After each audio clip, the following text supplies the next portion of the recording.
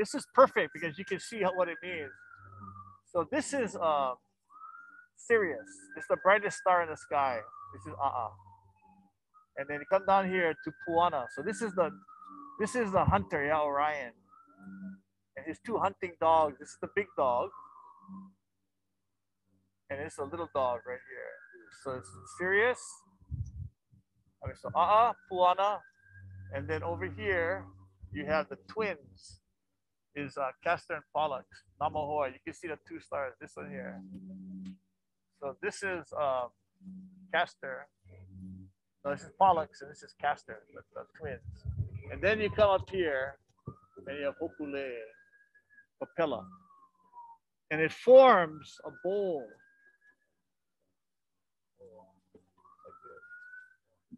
So it's called, this star line is called Kika'u Makali'i. Ka Ka is a baler. It's a Hawaiian uh, term for baler. So to bail a canoe, they say uh, kika, uh, kikaina liu. Yeah, liu is uh, the water that gets into the canoe that you got to get out. Yeah, so kainu liu is to bail, bail the water, bail the water. So within this star line is all of these wonderful stars. So you have the uh, Orion, this star, this these three stars in this belt rise right in the east. They rise, uh, this is like true east, 90 degrees. These stars right here. And then all these stars are on the uh, northern side, the northern hemisphere, and all these stars over here on the southern hemisphere. Part of this star line is this star down here. This is called Canopus we call it Keli Keliokonikaleva, which means the chief of the southern sky. You can see in the southern skies here, it's like a, it's like a really bright star. And then um, and then you got so the belt points to uh, uh here, but it also points to Aldebaran here. This is called Kapuahi. This is Taurus the bull. Oh yeah. And this is the Pleiades right here, or Makali'i. Makali'i has two names, right? One, they say little eyes, right? Maka, li'i, but it's also eyes of the chief, Maka li'i. Yeah? And he was a navigator. So this is the um, bull, and then um, Orion, I mean uh, Pleiades. And then um, another star line that preceded that starts right here with this star called uh, Iwakeli'i. It's the uh, Eva, it's like the Eva bird, the shape of an Eva bird, but it's uh, like the royal Eva bird. And then from this star here, Sagan, there's a little line of stars that go right to this star right there. That's the North Star right here. So everything kind of rotates around that, yeah, circles around that. And then from Iwakeli'i, you come over here to the Great Square. This is the Great Square of Pegasus. You can see this. And um, and then from there it comes down to um, down here to um, the uh, the crane and all that crust. This is uh, Jupiter. That planet. So you guys know about Jupiter, right? It's the fifth planet in our solar system. And uh, it's one of the brighter planets. The only thing, only one uh, object brighter than Jupiter is Venus. And Venus right now is a morning star. You'll see it rising uh, before the sunrise in the morning. This is any other planets from here? Yeah, Jupiter right here. So, so you got this star line. Yeah. What went down uh, earlier was um, was um, Manaiakalani, which is with um, the fishhook. Yeah, the fishhook went uh, is down. Then this one is kind of uh, uh, descending, and then this one's ascending, and later on in the morning or in the night, the next star lines coming up is uh, Iwikuamo'o, which is the backbone of the lizard. And that one goes from North Star through uh, the Big Dipper, the seven, the stars, they call it Nahiku, the seven, to Hokulea, and then to Hikianalia, and then down to the uh, Southern Cross. And that's like the fourth. So there's four major star lines, yeah. And this is what the navigators use to uh, throughout the night. But the the the way you use it is, you know where the stars rise.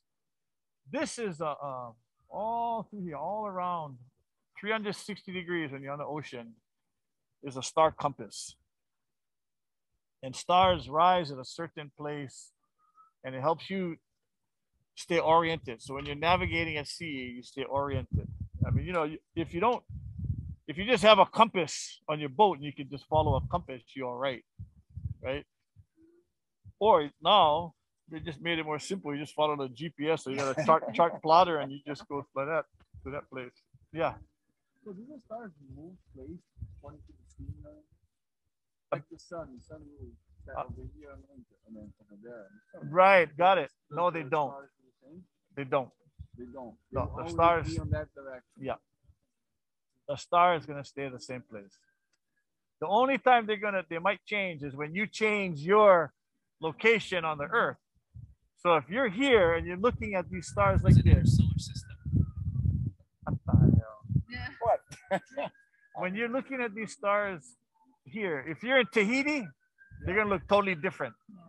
Like if you're in Tahiti right now, this star is gonna be higher, this star is gonna be lower.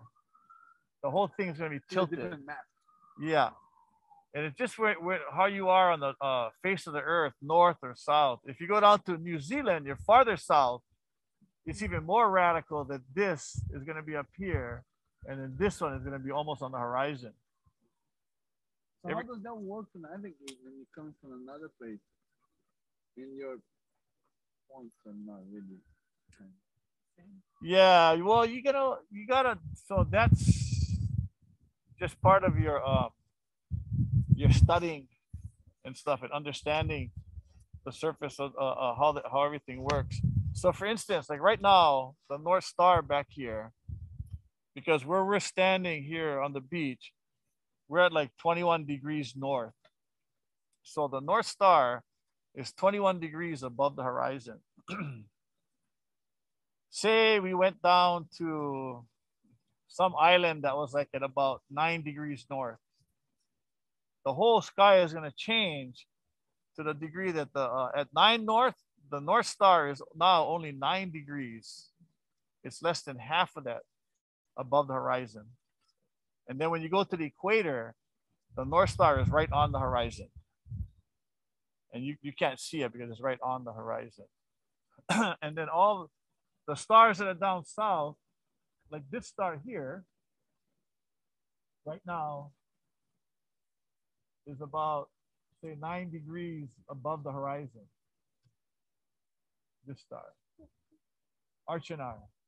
And so what's going to happen is uh, as you go say, so it's nine degrees now. If you go down to uh, 10 degrees south, I mean north, 10 degrees north, it's going to get 10 degrees higher. So this gets 10 degrees higher. So it's now uh, 19 degrees above on the southern horizon. The North Star is like only nine degrees. It gets lower, nine degrees. I mean, I'm, I don't know if you guys are able to follow this, but the tilt of the earth and how the heavens, it, it changes radically as you go. Yeah. So like, which stars are you mostly looking at when you when you're that happens? Like, some stars probably like they move differently since. Yeah. So for orientation, you got 200 stars that you're using. You got to know them. But the four cardinal points are always the key things. So this one here, that's uh, east. And there's other stars down there. So the stars that are closer to east, like this one here, and these, you use those. But there's also stars up here that point to the North Star. So these two stars here, So this is a Hokulei Capella. This is they call it a Hokulei because it's like a lay right here. But these two stars, they point to the North Star. And then this, there's a sprig of stars here. And then there's other stars up here, groups of stars, like these two here. And um, if you can't see the North Star, you use these to find that point on the horizon up north. And then there's other stars uh, down here that help you also find that, that point down here. So let's see. Well, one of them is this, it's Keliokonika and this star here, Burzan. So when they get to this point where they're right over each other, they point directly to south.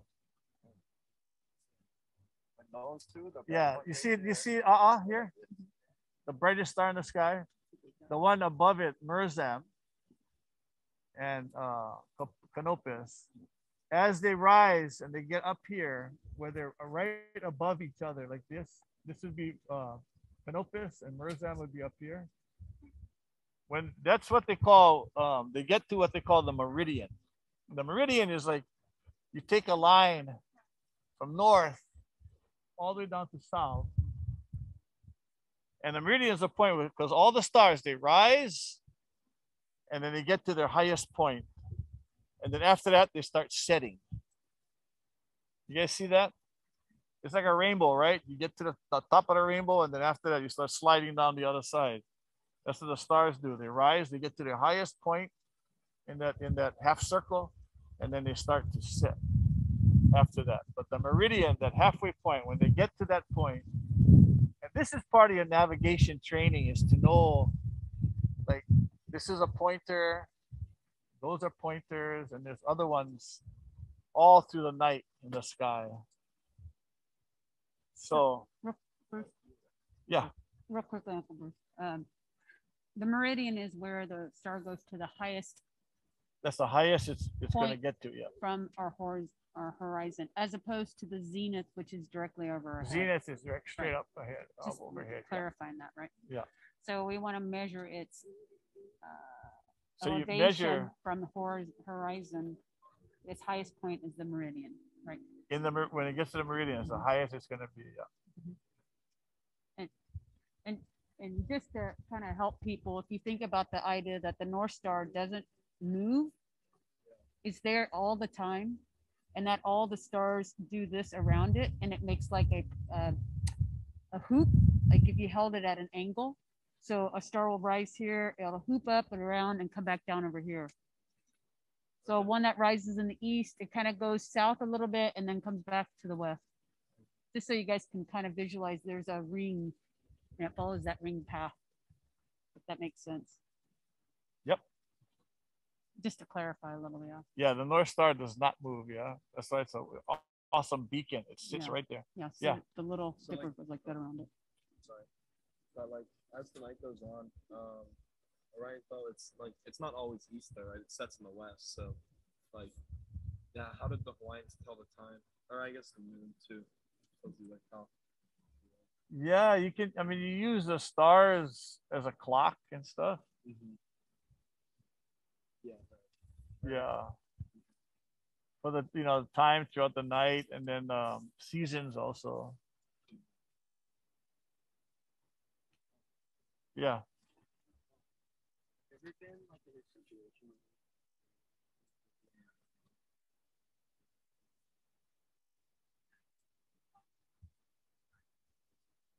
strong?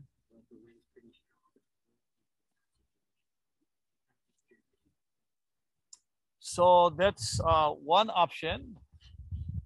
The other option is, um, I mean, if it's the other option is to you uh, scale down the amount of uh, sail you have up, and you you you're always going to be better if you can keep moving, you know, because when the waves, you never you're not a, a, a you know a sitting duck, yeah, for waves and other things to to hit you. And so for navigation, you know, at that point, yes, we have been in that situation and you just put smaller sails down so you can keep moving. And uh, there's a there's a point, even in the big winds and the big surf, if the canoe is traveling at about like five to seven knots, um, it's real nice. Even with all the big stuff going on around it, you know, it's she just um, travels through that really nicely. But you gotta um, you you hold your general direction with the wind and the swells. And, and at that point, because you don't see any of this, all the cloud cover and everything, it's the um, the swells that you follow. Like for instance, when we sailed home 2009, we sailed home from Palmyra Island, and Palmyra is about a thousand miles south of us. And we sailed home, and the whole 10 days that we were at sea, we didn't, it was cloud cover the whole time. So during the day, we steered by the, the, the glow of the sun throughout the day, and then at night was the glow of the moon. But the wind and the uh, the swell angle was the key. The swell stayed constant the whole time, so we stayed right in the trough, and we just ported the swell, and we came right up to the big island. And so that's that's like the I mean that's the kind of stuff you learn from you know our teachers, Mau Piailug, yeah. That's how you do it. So you, you practice it, then you see the results. That's the only way you're gonna do it is by practicing it and seeing the results and stuff.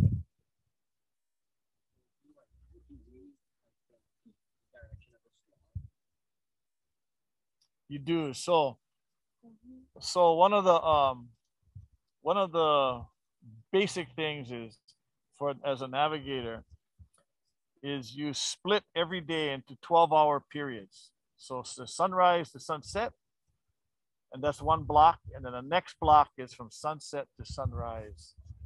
So at sunrise, at the first light, the navigator is like really working really hard to um, see his environment in that day. So the swell angles. So you're looking at swell angles, swell heights, swell the thickness and the shape of the swells, and uh, it changes, you know, throughout the day, you know, every day, and uh, the wind. So when the when the the sunrise is so important that when the sun is like right here breaking the horizon, that's your most accurate um, position you're going to get for navigation. You set up the canoe. And on Hokulea, on the canoe, there's also a canoe compass. You know, the railings of the canoe are marked. It's a canoe compass, and you calibrate the navigator calibrates the the canoe compass to the, the star compass, you know, which is around you. And he sets the uh, the course for the day and then uh, he's reading the wind angle, the swell angle, and so you just get used to that. So you do that; it carries you through the day, because after the sun, you know, sun rises, it gets up to about this point, about 10 o'clock, 10 a.m. You can no longer use it with any kind of accuracy. So between 10 a.m. all the way to like 2 p.m. when it gets here, you're steering with and, and you're guided being guided by the swells and the wind. And then when the heavenly bodies get to this point coming down, then you can start using it again. Yeah. Just before sunset, you're recalibrating your world and your environment. You know, the swell angles, the wind angles. You're looking at the uh, clouds and seeing all the what's happening with the, the clouds shows you weather and change of weather and stuff like that.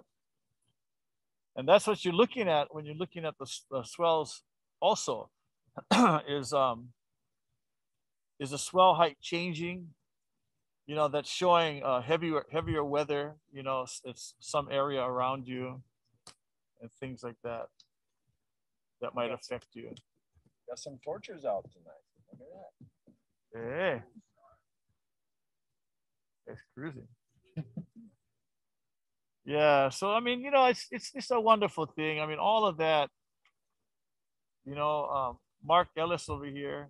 He's one of mm-hmm. our captains on Hokulea. And uh, he also knows a lot about all this stuff that we're talking about, the navigation and all that. But the blessing is like Mark, you know, he's not only a captain and a, a navigator, but he's a teacher.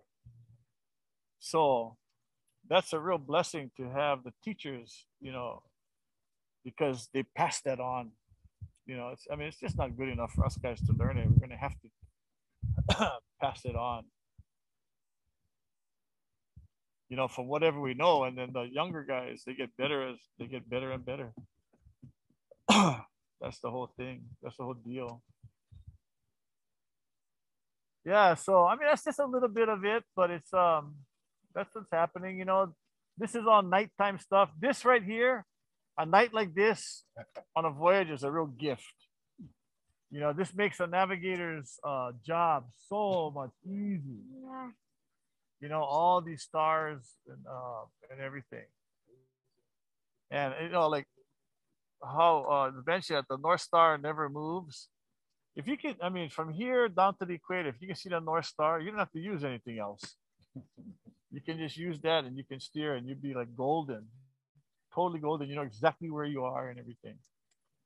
And then when you get south, then you lose the North Star. But again, I said you got these pointers, all these pointers here. Yeah. These guys down south, these guys up north. Yeah Right here.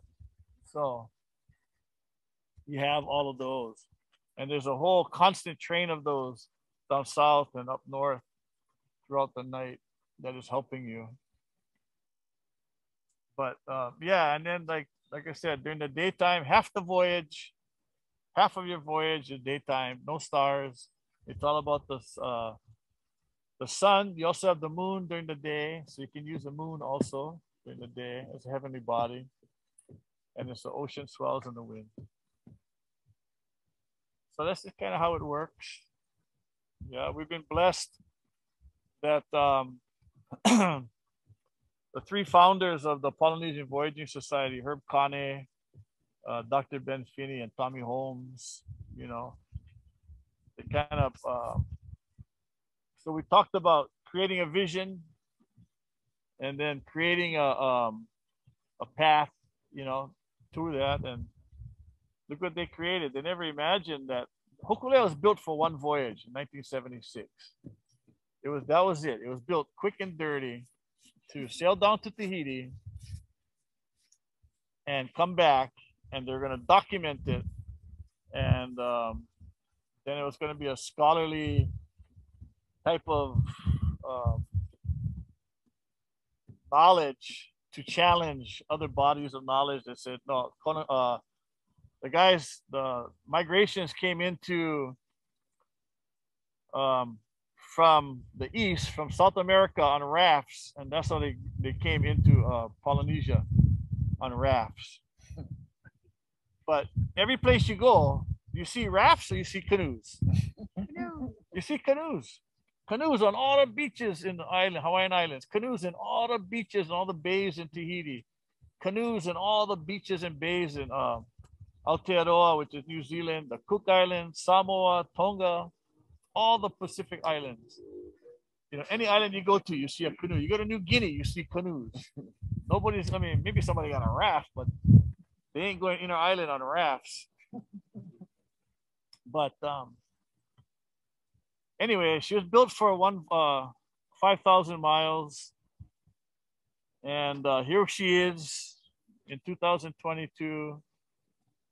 And she's um, sailed over 200,000 miles. And um, we had no navigators in Hawaii in 1975. First navigator, Nainoa Thompson, in 1980. And then 1992, another cadre of navigators, and now we're on our third, fourth generation of navigators and captains, and it's just been wonderful. And then you know, it's all throughout the islands, all the islands. There's seven canoes now, voyaging canoes in Hawaii. So Hokulea was the first one. Hawaii Loa was the second one. Makali'i was also at the same time as Hawaii Loa. So they were like twins at that time and then uh, Hikianalia, and then um, on Kauai there's Namahoe, and then on Maui there's um, the Pi'ilani or Ma, uh, Mo'okiha Pi'ilani, And there's also one in Hilo, Hokualakai, there's seven. And these are all big voyaging canoes that are capable of doing long voyages. Imagine that. yeah. Nothing for hundreds of years. You know, maybe four or five hundred years, no voyaging canoes. And then Hokulea's built. Nobody knew anything. You know, it was like a recipe for disaster, but just kept pushing through. And now it's like so amazing. Yeah. And so that's just an example of where you can take anything. You know, anything you want to do that you feel is beneficial and worthwhile and so awesome that you can take it there. Right? There really is no limits to it.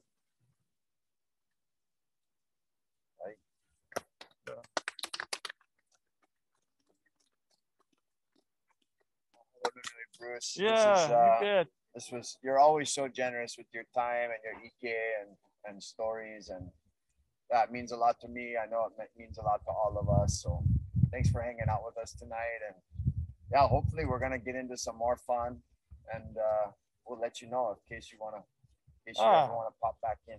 Sure.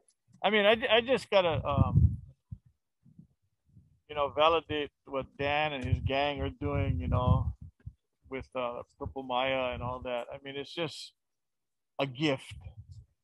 It really is a gift to um, all you guys and all us guys and anyone who's uh, who sees, you know, these. These are our, our islands. Yeah, these are our islands. You know, we live here you know, our, our, our uh, capacity to take kuleana, you know, and uh, a bit of ownership for things, you know, is, is uh, only limited by, you know, our time and, you know, our willingness to do stuff. But all the things that we do, you know, like all the work we do at Hokulea and stuff like that, it's only one thing. It's a gift. You know, it's a gift of our time and our aloha and stuff. So it can keep uh, moving forward, you can, you know, every time we do it, we're teaching people. So I want to say mahalo to you guys. I'm, I'm so stoked that you guys are here and doing your stuff.